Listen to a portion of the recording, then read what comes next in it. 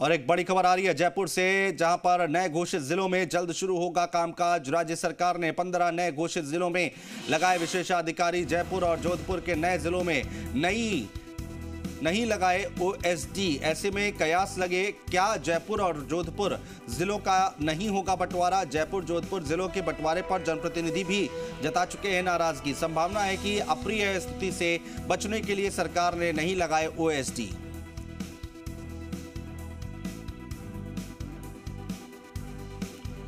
OSD ये बड़ी खबर हम आपको बता रहे हैं, अहम खबर आ रही है।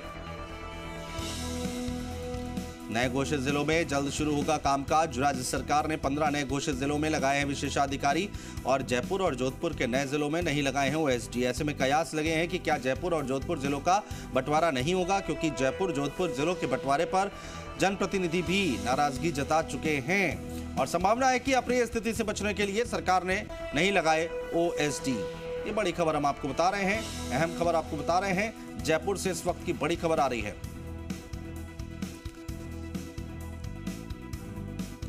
विष्णु हमारे सहयोगी हमारे साथ जुड़ चुके हैं, ज़्यादा जानकारी के साथ विष्णु, अब नए जिलों में अब काम शुरू होगा जल्द।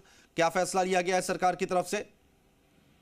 बिल्कुल, आज राज्य सरकार ने जो बजट में नए ज़िले घोषित किए थे, उनमें ओएसडी लगा दिए गए हैं। यानी अब वो जल्द काम शुरू होने की तैयारी है। यहाँ पर हालाँकि नोटिफिकेशन जिलों का जो सीमांकन है, वो होने होगा।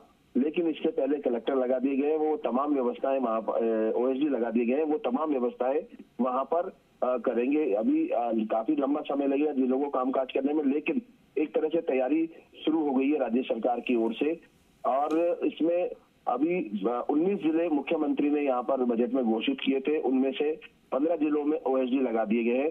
जयपुर के जो हिस्से किए गए थे उसके अलावा जोधपुर के हिस्से गए थे, उनमें अभी ओएसडी भी लगा इसका मतलब कयास ये लगाए जा रहे हैं कि इन जिलों को नीचे चला जाएगा, यानी ये जो जयपुर और जोधपुर है, इनको यथावत रखा जा सकता है।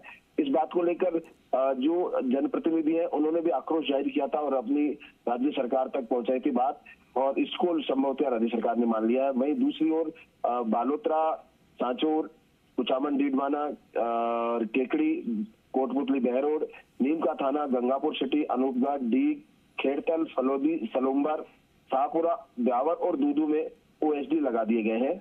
और अब ये वहाँ ज्वाइन करने के साथ ही काम कर, काज शुरू कर देंगे। वहाँ स्ट्रक्चर बनना है पूरा। बिल्डिंग बननी है, उनके लिए जमीनें देखी जानी है। ज़मीन अगर कहीं कम है तो उसका अधिग्रहण किया जाना है। तमाम जो प्रोसेस है, वो आगे की बात है, लेकिन फ़िलहाल एक तरह से राज्य सरकार ने जो संकेत दे दिए कि जो जिलों की घोषणा की थी, अब उनको धरातल पर उतारने की तैयारी है। जी। विष्णु, लेकिन यहाँ पर एक सवाल ये भी है कि जयपुर और जोधपुर की अगर हम बात करते हैं तो जनप्रतिनिधियों ने यहाँ पर नाराज़गी भी जताई थी, सवाल भी उठाए थे बंटवारे को लेकर, और वहाँ पर ओएसडी भी नहीं तैनात किए गए। तो अब अब इस, क्या माना जाए कि सरकार ने इस पर फैसला ले लिया है जयपुर और जोधपुर को लेकर? अनूप ये सही है क्योंकि जैसा अभी बताया कि 19 ज़िले यहाँ पर घोषित किए गए थे। उनमें जो चार ज़िले थे वो जयपुर और जोधपुर के थे। तो ऐसे में अब संभावना ये लगती है क्योंकि उनमें ओएसडी नहीं लगा है।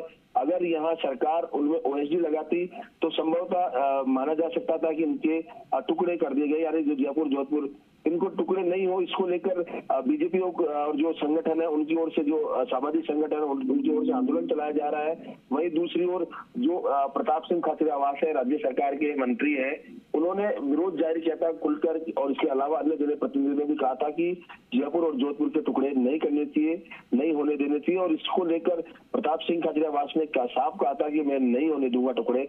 और संभवतः अब ओएसडी नहीं लगाए इसलिए ऐसे में ये संभवतः प्रयास लगाए जा सकते हैं कि यहाँ जयपुर और जोधपुर जो है वो अब यथावत रहेंगे। उस जी। बहुत शुक्रिया विष्णु शर्मा तमाम जानकारी अपडेट हम तक पहुँचाने के लिए।